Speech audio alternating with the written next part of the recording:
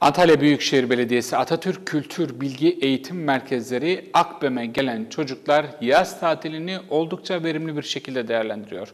Merkez bünyesindeki yoğun ilgi gören kodlama kursuysa kursiyerlerin hem bilgisayarın temelini düşünmesini, öğrenmesini hem de analitik düşünme ve problem çözme becerilerini geliştiriyor.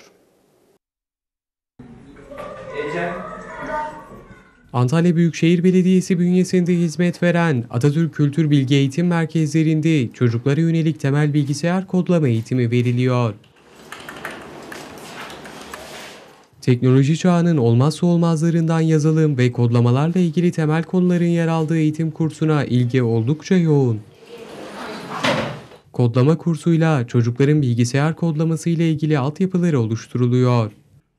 Geleceğimiz yapay zeka tamamen. Yapay zekayı geliştirebilmek için bu temeli ne kadar iyi alırlarsa gerisi o kadar kolay gelir diye düşünüyorum. Ee, kesinlikle bilgisayar derslerine, kodlama derslerine e, devam etsinler bilgisayar kullanımı ve e, bilgisayarı e, yasaklamasınlar kesinlikle. Kursta ayrıca öğrencilerin gelecekteki kariyer tercihlerine ışık tutmak, analitik düşünme, problem çözme ve yaratıcılık becerilerini de geliştirmesi hedefleniyor.